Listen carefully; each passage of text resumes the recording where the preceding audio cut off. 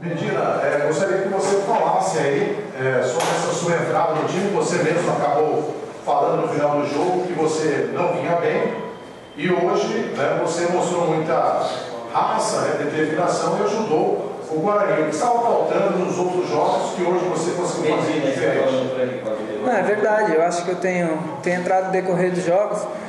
Ah, é, às vezes, muitas, muitas das vezes a equipe está já com o placar adverso, né? E vem, vem, vem muita responsabilidade em, em cima de mim, bastante é, cobrança. E hoje eu pude é, fazer um bom jogo, com muita vontade, determinação e poder ajudar os companheiros a sair com a vitória. O, que, o placar que a gente precisava muito do, na competição. Regina, você que é lateral direito, mas sempre mostra muita vontade jogando no meio campo, hoje não foi diferente. Você gosta mesmo de jogar nessa posição, até prefere do que a sua posição de origem? Passa, fala sobre isso. Então, é difícil. É, eu comecei jogando de, de meia, de meia na, nas categorias de base e depois, quando eu subi logo profissional, me colocaram na lateral direita e fui bem.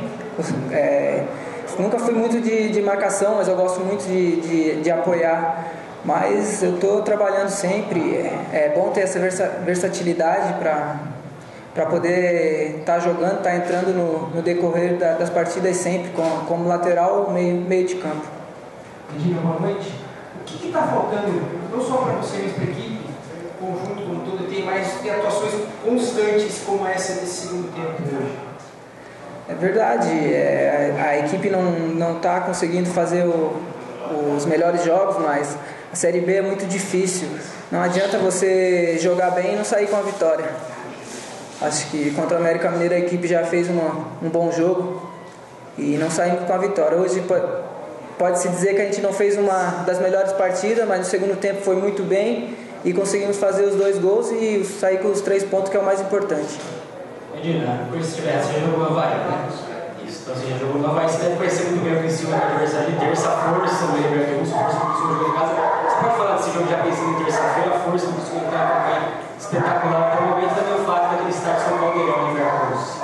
É verdade, joguei várias vezes contra o Criciúma, tenho, tenho amigos que jogam lá, que jogam lá. É, estádio lotado, torcida empurra o tempo todo.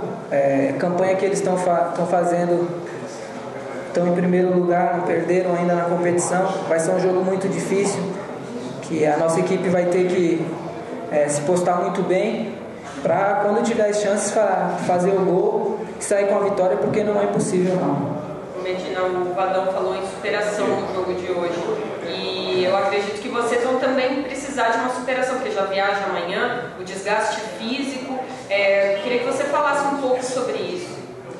É verdade, a superação da nossa equipe hoje todo mundo viu. Saímos, saímos atrás no, no placar, conseguimos fazer a virada, a equipe se desgastou, deu o máximo de si.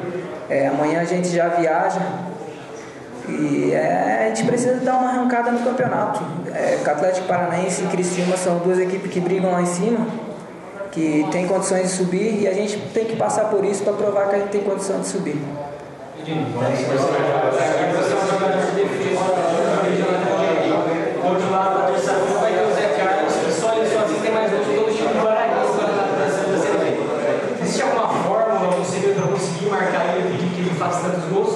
Se uma forma, qual seria essa forma para poder parar o São Carlos?